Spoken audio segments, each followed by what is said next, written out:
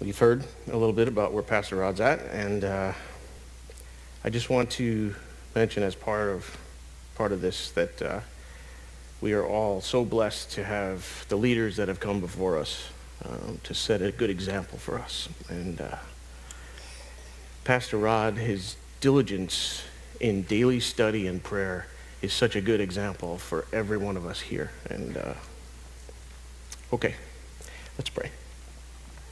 Father, we thank you for your blessings.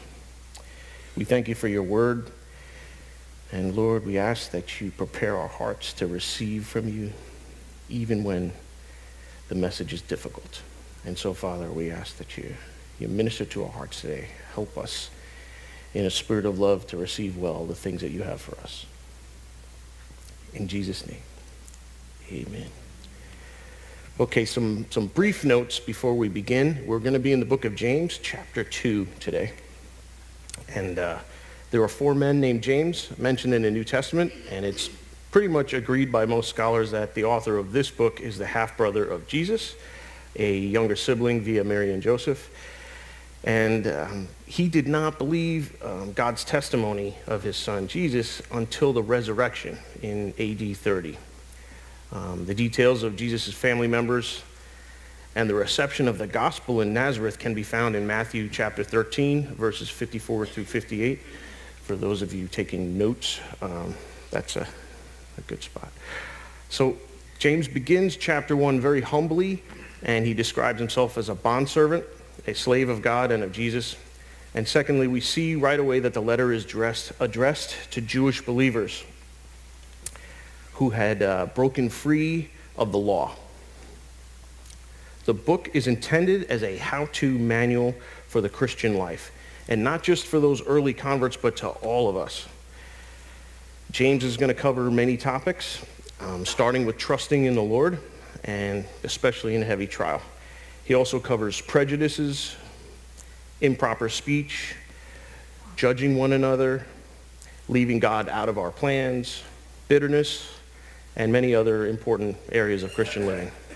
However, the main theological issue that James brings to bear is what we will be covering today in chapter 2, verses 14 through 26. And that is the issue of good works and their place in a Christian's life. The main controversy comes from folks who want to argue that good works are a method of salvation. To the contrary, it's very clear that James has addressed this to believers from the very beginning of the letter in chapter 1 and verse 3. And it's repeated again in chapter 2, verse 1, and also starting in our section here in verse 14 where he uses the word brethren. Um, so let us turn now to chapter 2 of the book of James and begin. So starting in verse 14. What does it profit, my brethren, if someone says he has faith but does not have works, can faith save him? If a brother or sister is naked and destitute of daily food, and one of you says to them, Depart in peace, be warm and filled, but you do not give them the things which are needed for the body, what does it profit? Thus also, faith by itself, if it does not have works, is dead. But someone will say, You have faith and I have works. Show me your faith without your works, and I will show you my faith by my works. You believe that there is one God. You do well. Even the demons believe and tremble. But do you want to know, O foolish man, that faith without works is dead? Was not Abraham our father justified by works when he offered Isaac his son on the altar? Do you see that faith was working together with his works, and by works faith was made perfect. And the scripture was fulfilled, which says, Abraham believed God, and it was accounted to him for righteousness, and he was called the friend of God. You see then that a man is justified by works, and not by faith only. Likewise, was not Rahab the harlot also justified by works when she received the messengers and sent them out another way? For as the body without the spirit is dead, So faith without works is dead also. Clearly, James does not allow us to get comfortable as we study God's Word. The Lord calls us to much more than just head knowledge and memorization of His Word. As, uh, as mentioned in the introduction, the book of James is full of practical examples of living out our faith, and today we're going to cover the brass tacks of why this is an essential part of solid Christian doctrine. As we've read in this morning's verses, it's quite clear that with true faith, our behavior must match our beliefs. Um, with that as our starting point, we move into the heavy theological topic of faith without works versus faith alone. There has been much debate over the centuries between theologians over the book of James. Um, at one point, there was even a possibility that it wouldn't be included in the canon of Scripture because of these particular verses in chapter 2. So, to get some background on why uh, this is a potential issue, let's briefly review the foundational doctrines we have from the Apostle Paul in Ephesians chapter 2. Um, please turn back in your Bibles a little bit to the book of Ephesians.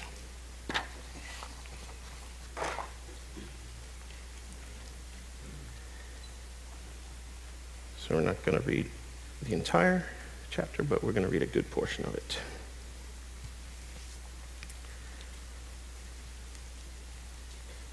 So, Ephesians chapter 2, starting in verse 1, the Apostle Paul says, And you he made alive who were dead in trespasses. Thank you, Sean, for keeping up with me on the slides. In which you once walked according to the course of this world, according to the prince of the power of the air, the spirit who now works in the sons of disobedience, among whom also we all once conducted ourselves in the lusts of our flesh, fulfilling the desires of the flesh and of the mind, and were by nature children of wrath, just as the others. But God, who is rich in mercy, because of his great love with which he loved us, even when we were dead in trespasses, made us alive together with Christ.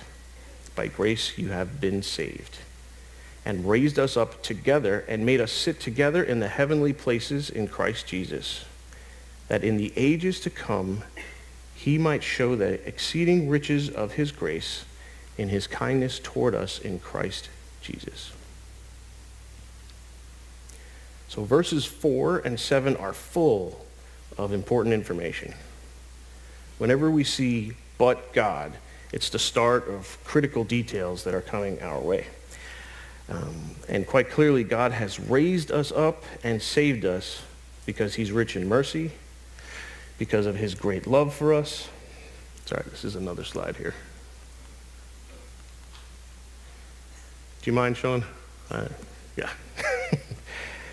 because he's rich in mercy, because of his great love for us, because of the exceeding riches of his grace and his kindness toward us, all of which comes to us through his Son, Jesus the Messiah. Paul cannot speak of this glorious work that God does without reminding us that it is a gift of grace given to the undeserving. We're not saved by our faith though it's important to note that faith itself is not a work, but rather by grace through faith. So, surely some of us will ask, isn't faith also a gift of God? And yes, this is true in one sense, because he gives us the ability to have faith through his grace and mercy. But the grace or power to believe as compared to the act of believing are two different things. Let me say that again. The grace or power to believe as compared to the act of believing are two different things. Without the grace or power to believe, no man ever did or can believe. But with that power, the act of faith is a man's own. or a woman's own. God never believes for any man or woman in the same way that God doesn't repent for man or woman. These are decisions that we have to make ourselves. Therefore, the person who repents is enabled to choose to do so or not. And that is through God's grace and mercy that he allows us to make that choice. And God is never forcing any of us to do that. Okay, we continue now with verses 8 and 9 in Ephesians 2. Here Paul continues, For by grace you have been saved through faith, and that not of yourselves, it is the gift of God, not of works, lest anyone should boast. Now, if we stop there, we get some very solid doctrine that we are saved by faith alone and that we bring absolutely nothing to the table. It is 100% a gift from God that we don't deserve. And there's nothing for us to be proud of in the act of salvation either. Um, the context here is really the important thing. Paul was talking to Pharisees and Judaizers, and he was making clear to them that works on their own had zero value. Um, in, in essence, any works pre-salvation are worthless. It's an important detail, and that's why it's, it's highlighted up there.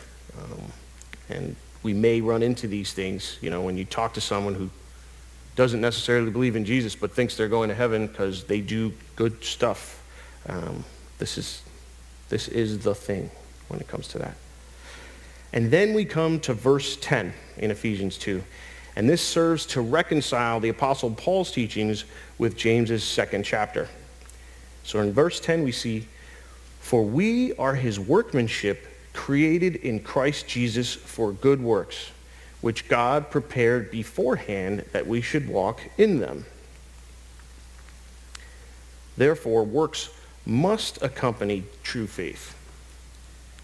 And we have been foreordained, as we see from verse 10, to do them. What Paul and James are both saying is that post-salvation works are necessary. To build on this unity of purpose even further, we can review in Acts chapter 15, which recounts the council at Jerusalem, where Paul and James are in full agreement. And James publicly declares this as well.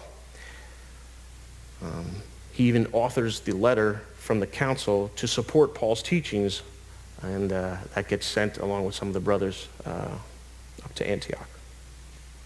So it should be clear at this point that James is not giving us a formula by which we get saved if we follow it.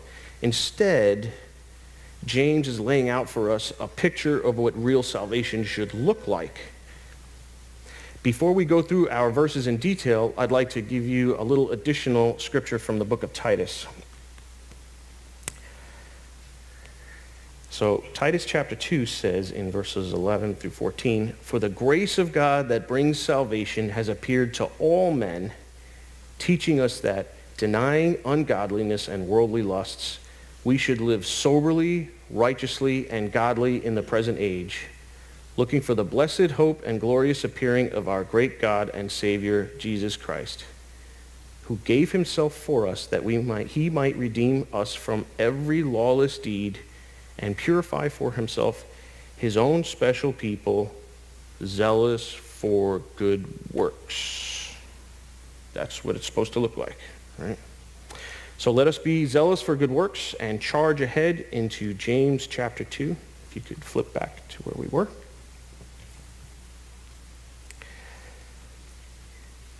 So we're going to take this in, in pieces, verses 14 through 16. Um, I'll reread. What does it profit, my brethren, if someone says he has faith but does not have works?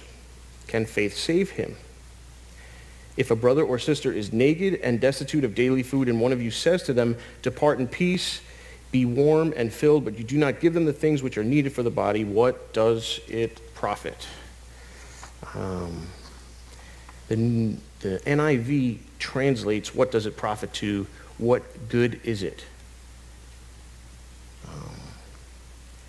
I think it's helpful for us to understand the motivation for faith and the good works that come out of extension. Galatians 5 6 says that faith worketh by love in the King James Version, meaning that it works by or through acts of love. So, therefore, if a believer tells you that they love you, and yet they never do anything to meet your needs or help you when you're in trouble, is that real love? The fact of the matter is that it's not love at all. It's a fake love that is just words. Um, faith can be faked as well. Jesus illustrates this truth for us in Matthew 25. Um, verses 31 through 40 are the good part, which is known, and this is the, known as the judgment of the sheep and goats. And, um, well, first we'll read this and uh, have a word or two. Um, reading from verse 34. Then the king will say to those on his right hand, Come, you blessed of my Father, inherit the kingdom prepared for you from the foundation of the world. For I was hungry, and you gave me food. I was thirsty, and you gave me drink. I was a stranger, and you took me in. I was naked, and you clothed me. I was sick, and you visited me. I was in prison, and you came to me. Then the righteous will answer him, saying, Lord, when did we see you hungry and feed you, or thirsty and give you drink? When did we see you a stranger and take you in, or naked and clothe you? Or when did we see you sick or in prison and come to you? And the king will answer and say to them, Assuredly I say to you, inasmuch as you did it to one of the least of these my brethren, you did it to me. These are the sheep, the ones with true faith. Um, the verses that come afterwards uh, in 41 through 46 are, are the goats, those with the artificial or fake faith. Now, our brother Grant just talked about a bunch of things here during announcements, opportunities for us to do these very things that we just read about. I mean, remarkable. I didn't plan any of that. It just came the way it did. Um, that's, uh, that's strong guidance for us. And as we heard from Galatians 5 6, it works through acts of love, our faith, our true faith. So, okay, we continue on to verses 17 and 18. Thus also faith by itself, if it does not have works, is dead. But someone will say, You have faith and I have works. Show me your faith without your works, and I will show you my faith by my works. So, in other words, a faith without action isn't real. The Christian faith should have noticeable evidence accompanying it. If you can't see a difference between a non believer's life and someone who claims to be a Christian, there's, there's a big, big problem.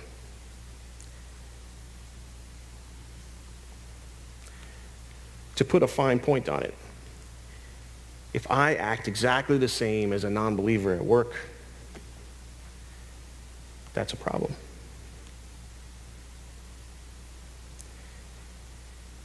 The point, the point truly is if our faith is real, people should be able to see our faith working itself out in our lives. A changed life shouldn't be private. Our faith shouldn't be private. There should be a difference in our lives after salvation. There should be good fruit and a changing in our priorities. What does that look like? So, in our lives, my wife and I, our vacations changed from going to Cancun to have a good time and to lay on the beach and drink tequila to a mission trip. Um, those are the kinds of things that change. You know, there's uh, the way that all of us spend our free time shifts from doing things to entertain ourselves to doing things that serve and bless others.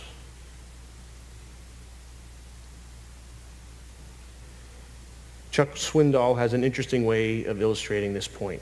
He says, faith is like calories. You can't see them, but you can see the results of them. I have been working on that particular physical issue. um, but it is true.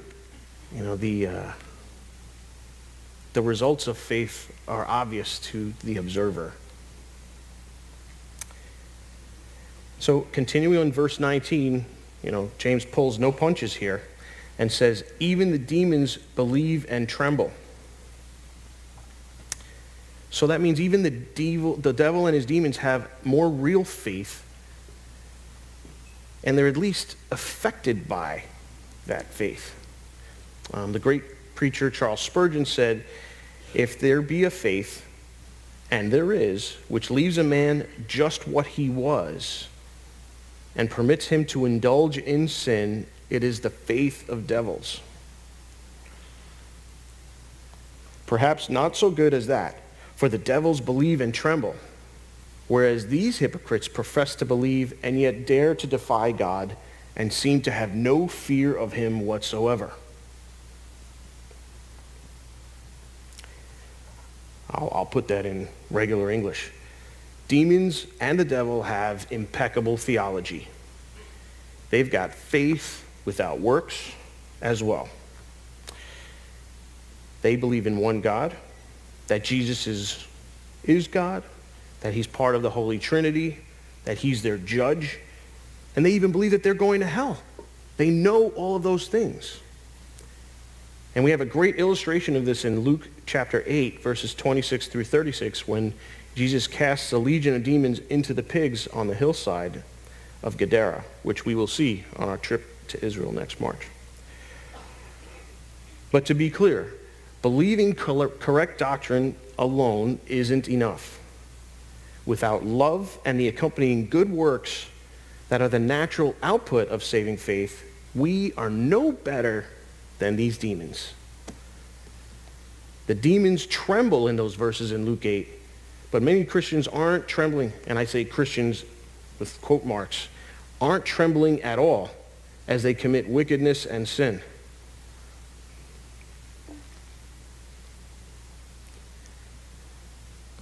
This is, this is very, very, very clear for us. And, uh, and it and will cause us to, to examine ourselves. And so I'll, I'll add on just a little bit more. The prophet Jeremiah said in two, uh, Jeremiah 2.19, Your own wickedness shall correct you. Know therefore that it is an evil and wicked thing that the fear of God is not in you. And it's that healthy fear of the Lord that should be present in a Christian.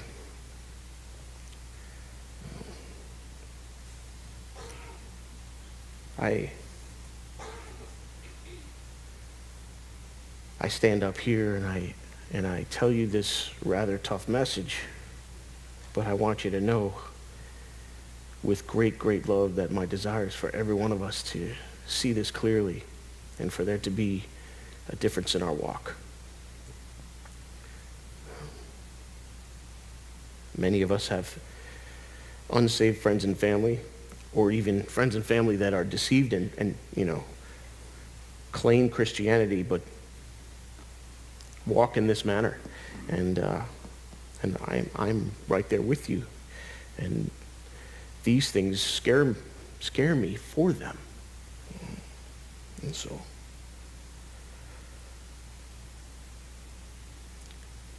We will we'll pray about that at the end. In verses 20 through 25, James gives us two examples from Jewish history Abraham and Rahab.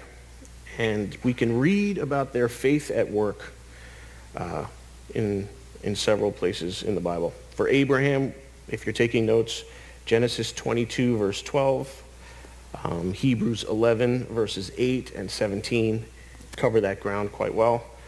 Um, in Rahab's case, we have Joshua chapter 2, verses 1 through 3, uh, chapter 6, verses 17 through 25, and also Hebrews 11, verse 31. That's the, the hall of faith. You couldn't find two more different people. Abraham was a Jew, Rahab was a Gentile. Abraham was a godly man, and Rahab was a prostitute. Abraham was the friend of God, while Rahab belonged to the enemies of God. And yet each of them found favor in God's sight through their faith. And each demonstrated their faith to be real and genuine through their actions. And so, with that said, we come to the tough verse, verse 24. A man is justified by works and not faith alone. So this statement seems to contradict Paul's teachings a little bit. And I will read from Romans 3, verse 28. Therefore, we conclude that a man is justified by faith apart from the deeds of the law. That's pretty clear. Right? There's no contradiction, however, when you realize that Paul was specifically dealing with those who believed that obedience to the Old Testament laws could save you while James is dealing specifically with those who believe you can claim to be a Christian and yet have no evidence in your life. It's two different discussions entirely. Jesus said in Luke 6:46, "But why do you call me Lord, Lord, and do not do the things which I say?" That is the driving focus behind James's teaching here. So, continuing in verse 26 faith without works is dead. Again, we must remember the difference between Paul's teachings on faith and James's. Paul was describing in, in Romans chapter 3, verse 28, a living faith. And James here is talking about a dead faith. It's, a, it's an artificial uh, fool's faith that can often be mistaken for the real thing. A true saving faith looks to Jesus alone for salvation and then acts like it believes. So, how do I know if my faith is real and living? Luckily, the Bible has guidance in every scenario. 2 Corinthians chapter 13 verse 5 Paul says, Examine yourselves as to whether you are in the faith. Test yourselves. Do you not know yourselves that Jesus Christ is in you, unless indeed you are disqualified? I like instructions. I'm the guy who does read the manual when the Christmas box is opened and there's a lot of stuff in there to put together. Um, so, do I claim to be saved but still continue in disobedience? Am I still doing evil things? Am I still sleeping with my girlfriend? Am I still stealing or cheating at work by lying on expense reports or taking home the company tools? Am I a bad steward with the blessings and resources God has blessed me with? Not using those things, my home, my salary, the time that I have in a day, to bless Him and those that He's placed around me. Basically, am I still living the same way that I was before I got saved?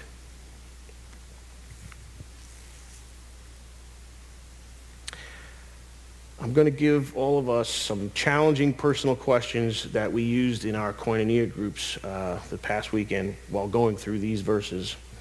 Um, if you want to take a picture of that slide, actually, I'd, I'd, I'd like you to take a picture of this slide and chew over these questions on your own. Um, that's a heavy duty set of questions. I won't read them all out loud, but truly, uh,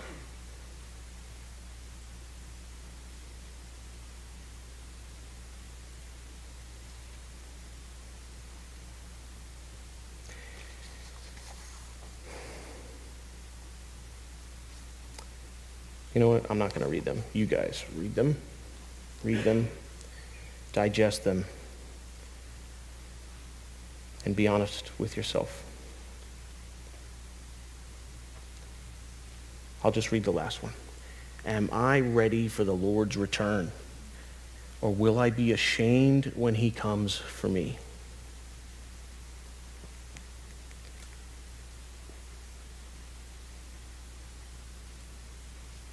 Okay.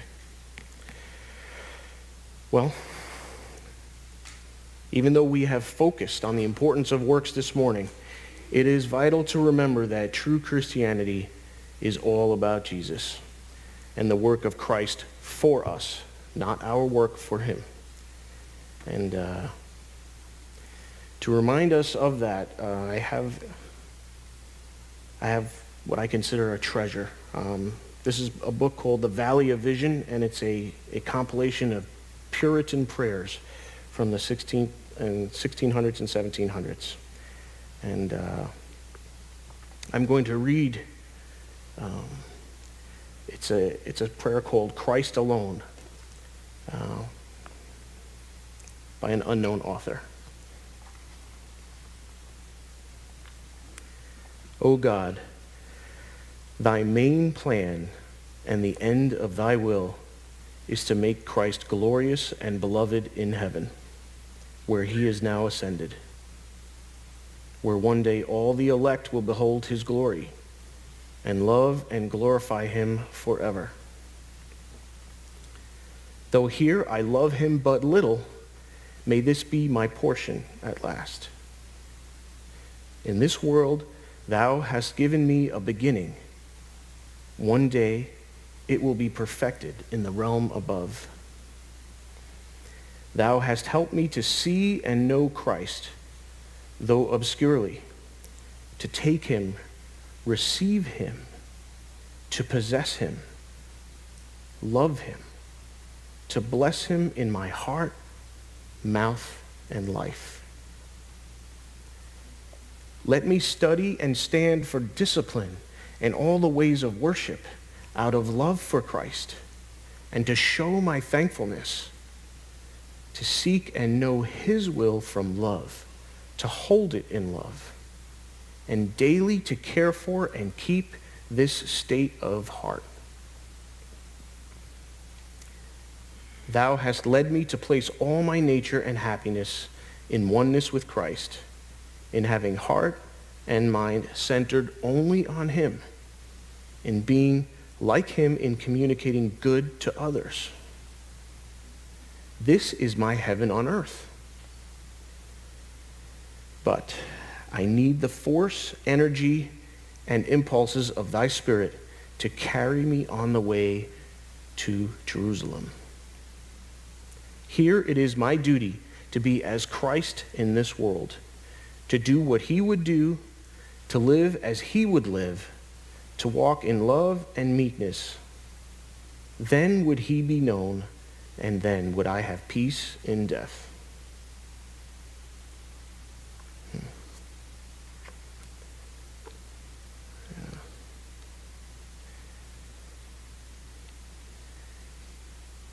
You can hear the, the total commitment in this person's heart.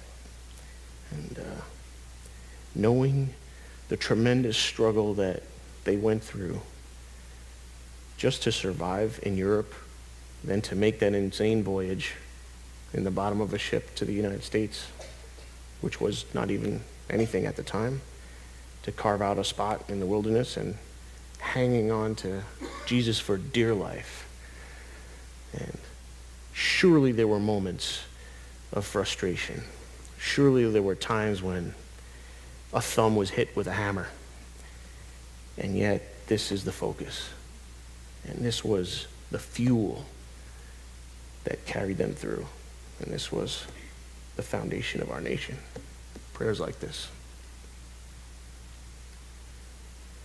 So, I have lots more on this topic, but I felt like this was a good place to stop. Let's pray.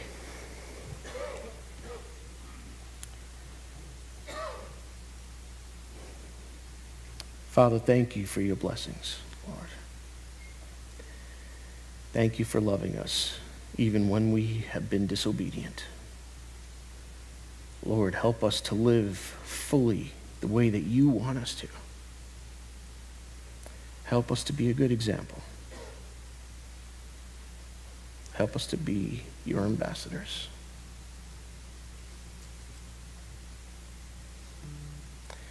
Father, the things that are within us that still don't belong, we ask that you pull them out, remove them, put them to death.